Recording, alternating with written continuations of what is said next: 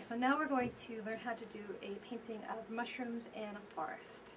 And I'm going to go over the materials. Um, I used a lot of different colors of green. You don't need all these colors of green.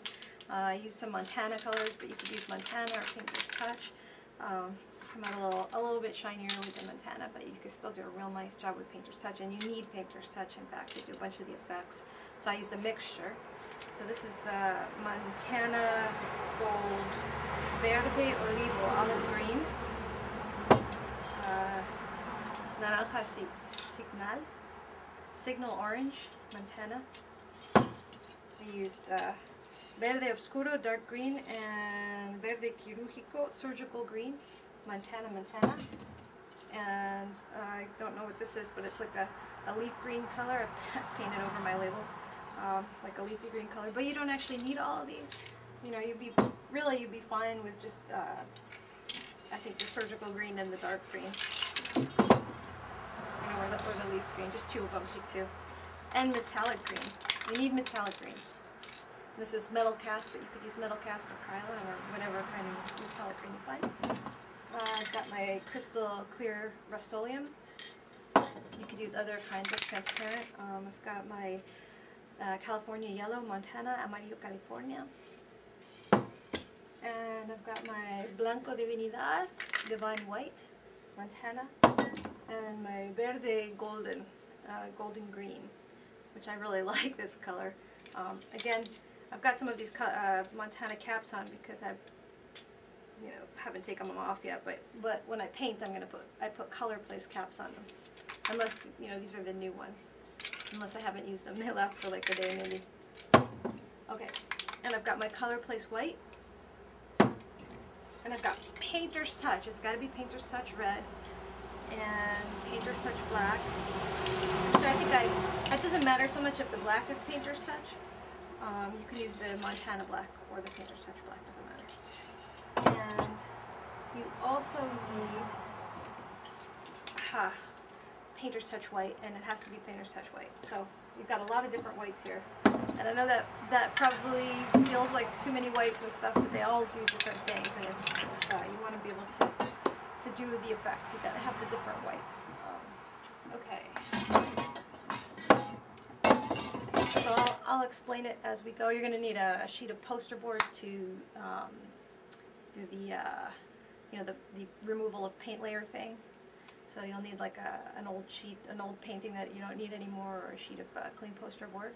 Um, and you'll need that to make the mushrooms as well. You'll need a spatula, mm, your paper, you need your mask, your ventilation system, and that's about it.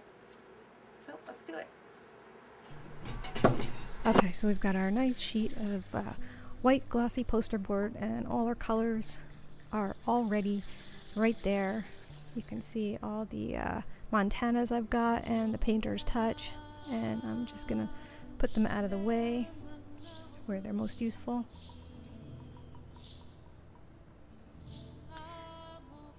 And I'll start with just a little bit of orange along the sides. And what I'm doing here is I'm preparing to make those edges. That's to go underneath a lot of green colors. And the green mixed with the orange is to give us some nice brown colors. So now I'm to do the forest on top. And to do that, I'm going to go from light to dark, and I'm making sure all my Montana cans are nice and shake up because they're real thick paints. So I will start out with the uh, lightest of the paints.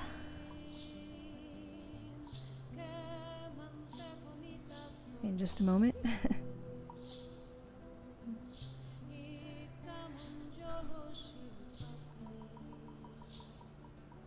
so I'm starting out with my Montana uh, white. And I'm just doing a little semicircle at the top there. And then I'm going to do a little bit of that uh, kind of uh, light green color. I'm going to put a little bit of yellow in there. I don't think I mentioned yellow in my introduction, but that's Painter's Touch Yellow. And then that's metallic green. So I'm just going down in the shape of a, a back uh, a U not backwards, it's facing upwards in the, in the shape of a U. And that metallic green is a really nice color for doing forests. And then I'm to go to my darker greens. Now, if you only have one or two darker greens, it's not a problem. Just, you know, just keep going from light to dark. I've, I bought a whole bunch of different greens, so I'm piling them on, but really, it doesn't, you're not even to be able to see the difference. That's like a, a military color green.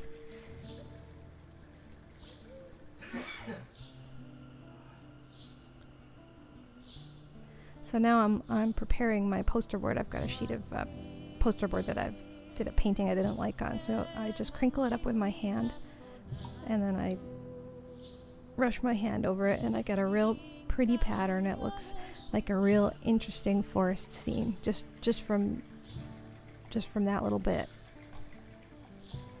That's a good way of using that, that planet kind of effect as a background. So now I'm putting my transparent on the edges because I'm going to make kind of my it could be trees or it could be like a, a land. It doesn't really matter. It's kind of a fantasy scene, and I'm, I'm using a sliding motion uh, with my advertisement paper where I'm drawing the edges with my fingers.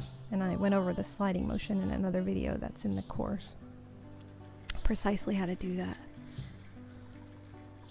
Okay, so now I want to put a little bit of extra white at the top to make it seem like there's some sun rays coming down. So I'm getting my color place white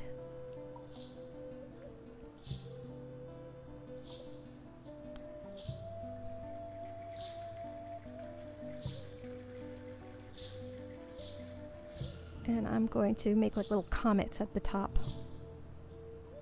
just by pressing down on that can in the shape of a semicircle and that's just going to give me that little bit of extra light like the light coming through a forest.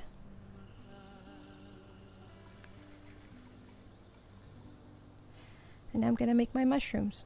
So I need another uh, piece of poster board to do that. It could be the same piece if you want to rip off the bottom.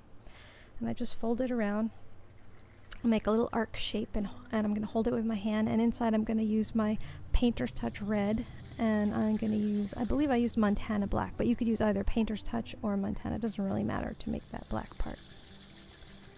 So I spray the red and I try to keep it only along the top because I don't want a, a mushroom to be wearing a long mushroom dress. I just want the head to be red.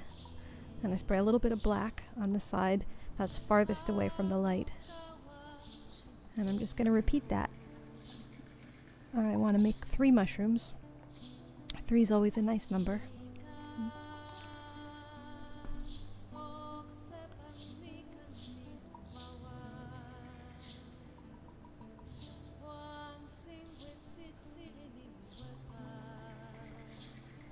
and they're nice and bright because that the contrast between the red and the green really brings out the, the brightness in the red. Now, I want the spots on my mushrooms to be uh, really bright and really big. So I'm using my painter's touch because when you put little blotches of painter's touch white onto painter's touch red, the paint expands. You get it, it expands a little bit and it creates these interesting cool forms. So really put a lot of paint on that spatula and just really let even big drops fall onto the mushrooms. It's going to look really cool. I'm using really big globs, and, and I'm using some smaller ones too. You know, I'm, the bigger globs tend to accent the front of the mushrooms, and the smaller ones are in the back.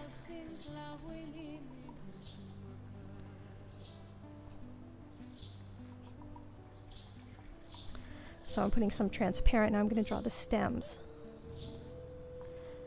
And to do that, it's good to, you know, maybe look on the internet and find some magic mushrooms and practice drawing them before you do this so that you know what, what they look like underneath. Um, you're gonna first you're gonna draw some of that underneath. it's kind of like this white ruffly stuff, and then you can uh, draw the stem out from there. You know, and if you hit another mushroom, you can you can kind of patch it up a little bit.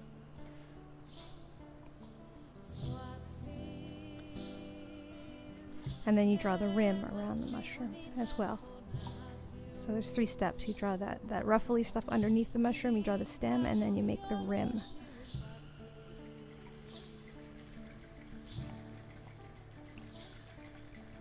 And to know what I mean, you just have to, you know, watch a little bit closely, see what I'm doing. So there I am. I'm drawing that, those ruffly stuff, and those are those are basically just lines from the center of the mushroom reaching out diagonally. You know, from the center to the edge of the mushroom in all different places. And then the stem, you just press the spatula down right in the center of all those lines and just, you know, draw it down and, and uh, draw yourself a nice stem with a lot of pressure on that spatula there. And you can put some detail in if you want. And then you go and you draw the, that edge around the around the mushroom, creating that, that little uh, distinction between where the roughly white stuff is and that, that uh, bright red cap.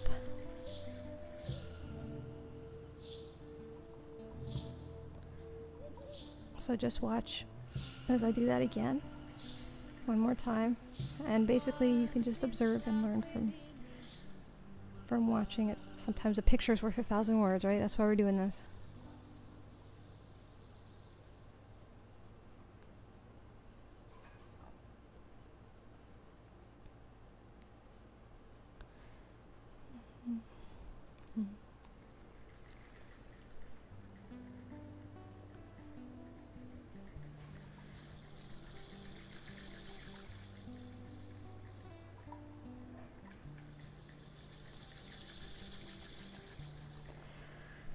Now I'm just going to make some grass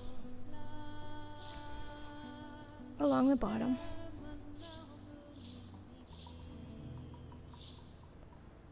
You know, finish off the stems. Notice that there's a little bit of orange gets in the stems, and that's good. If you want them a little bit smoother, you can put a little transparent on them, and just with your finger blur that a little bit, and it gives a nice effect. Especially if you've taken off too much paint, that's a way to get a little bit more back on there.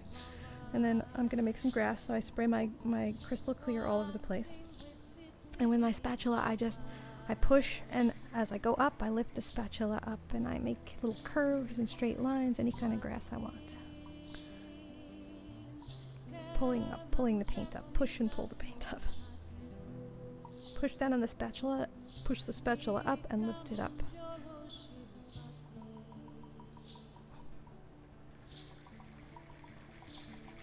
And that's a little metallic green.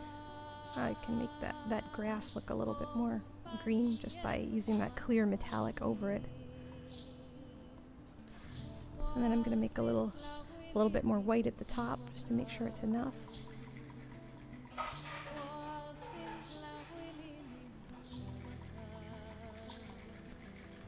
I'm going to make a little, a little star on the edge of one of those mushrooms. And I do that by spraying some paint on my spatula. Now I use Montana here because I'm experimenting with Montana, but the truth is that Montana doesn't really work very good for this. Uh, next time I'm going to definitely use uh, Rust-Oleum White, which was what I usually use because the Montana is too thick. It's too thick to make a good star. So um, I think I'll I'll do another video where I show you how to do this star.